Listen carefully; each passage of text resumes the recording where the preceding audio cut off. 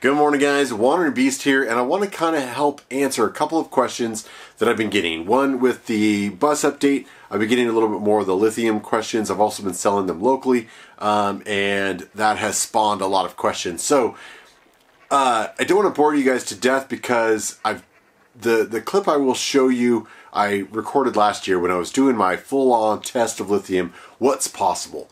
And uh, I think what I'm going to do is make sure that all the videos are in my Adventure Bus Build playlist. I put a link somewhere up here. Go check those out. We got ourselves in, we top balance them, we fully charge them. Now, when you charge lithium, you've got to have a charger that does allow a lithium profile that knows that it's charging a lithium battery. You can't just use a regular charger. And so, in my search for that, I tried out Noco. You guys know I love their jump starter. However, I've had issues with them. They've had good customer service. They've gotten back to me, and they've always fixed the problem. Now, I bought a Noco New Gen X4 something, and what I really liked about the Noco is they allowed multiple profiles for each output. And so I could put one battery that was a lead acid, my starter batteries, on lead acid mode and on my house batteries on lithium mode. But the problem was the lithiums couldn't make it up past 13 point whatever volts. And if you've been researching lithiums, you know that they stay at a very high voltage and then right at the end they crash. So you get all that capacity. Where with the lead acid, you kind of start slowing down early, and it has this very general curve that goes down. So the voltages and what you can do and what's possible with them are totally different things. So lithiums need to have the proper voltage, and they go like a racehorse until the end, and then they collapse. So the Noco wasn't working. I wasn't getting high enough voltage. I talked to the company. They said, yes, I think you've got a defective unit. And in the meantime, while they were figuring that all out, I said, screw it. And I went with Victron.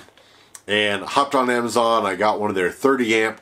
The other thing is if you're looking at cells like that I'm building that are 270 amp hour or 560 combined, you're going to need some power, some horsepower to charge that. Your little 4 amp and smaller are going to take forever. Even in a 30 amp, this is kind of the middle ground. I wouldn't go anything less than a 30 amp battery charger. Now this is a Victron. This has three outputs. However, you cannot change the profile for each one. This is a smart charger and you can through the app or the button on the front changes from a lithium ion to regular lead acid battery and it's got some really cool features. Check this out if you're thinking about getting a battery charger. The problem is I, I can't hook it up to my starter battery and my house battery. I leave it unplugged. In fact, I've got a small little dogtail here out with uh, 10 gauge, I believe it is, um, and some decent little clamps. And so when I need to charge my truck, I charge my truck. When I charge house batteries, I charge the house batteries. And I just leave it as a portable charger. I don't have anything currently permanently installed to charge off of house outlet. So with that all being said, what happens when you're in the middle of nowhere and your truck won't start? Well, you carry your jump starter, right? The Noco, amazing $300 charger. But your batteries are three or four years old now, and they're getting a little tired.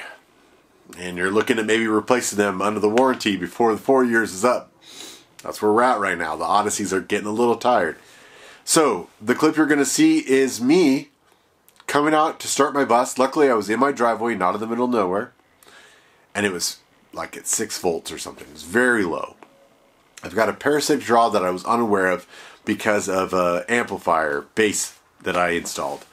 So it was a little low. So out comes a jump starter. Put on the jump starter. Ruh. Not gonna do it.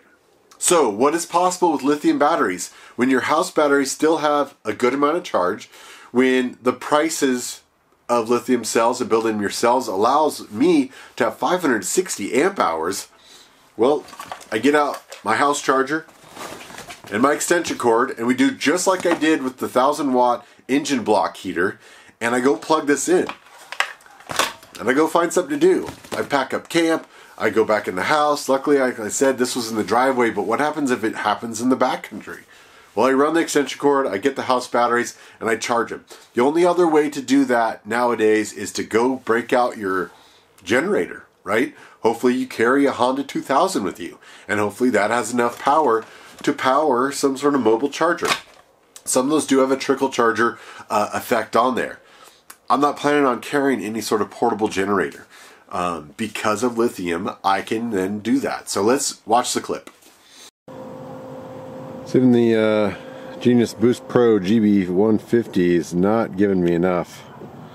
I've done the glow plugs a couple times. We're down to 9 volts. And it just doesn't have enough to crank.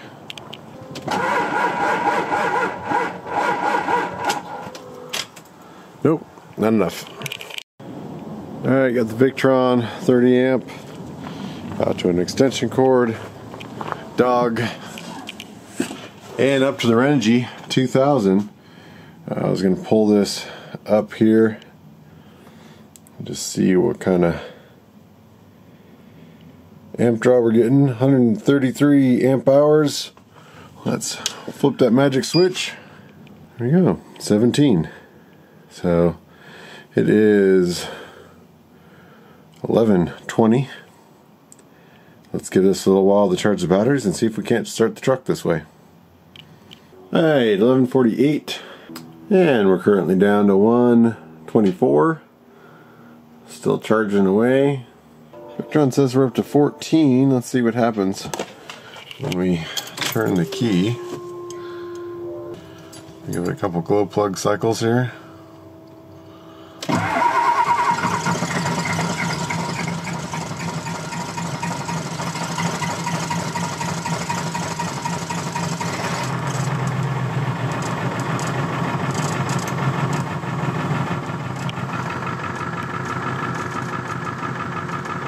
Well, that's it. Uh, truck starts, truck works, batteries charged, mission accomplished.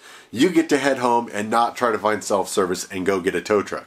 Um, Jump box wasn't pulling it, and I think it's just because the Odysseys have been through a lot.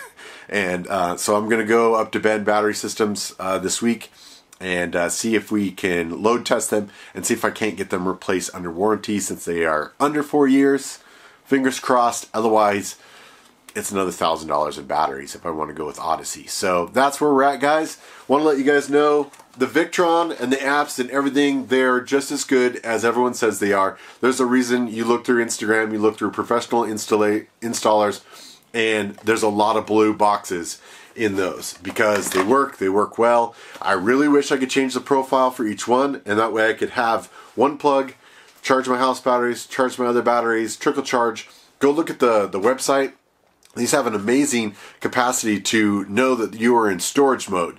It will not sit there, if you guys realize how normal chargers work, it ramps up, it gets a lot of voltage, and then it starts detecting, okay, you're good, it starts absorbing, all your batteries are good.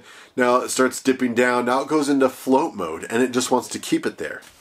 The problem is, what happens if you keep a battery at a very high voltage for floating for a very long time?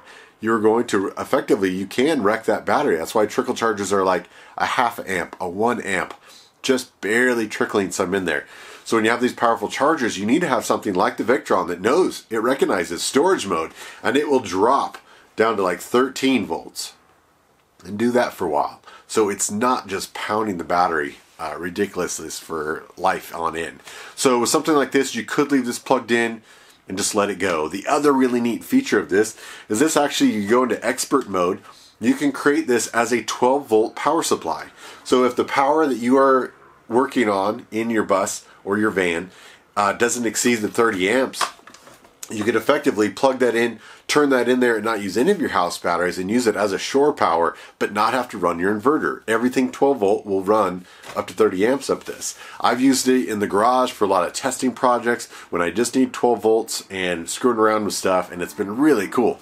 Um, I'll put links down below to everything, guys. Wonder Beast. Hope that answers a lot more questions and uh, doesn't create more. But if you have them, PM me, leave a comment, hit me up on Instagram. We'll see you down the road, guys. Thanks for watching.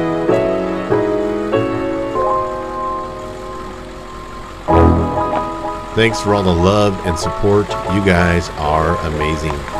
Please like, share, and subscribe. Follow the adventure on social media, and we'll see you on the road.